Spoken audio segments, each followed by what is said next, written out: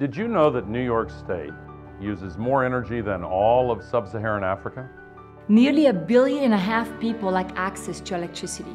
Nearly 3 billion people cook in deadly fumes. Energy can transform economies, Lives, Continents. our planet. We have a historic chance to eliminate energy poverty.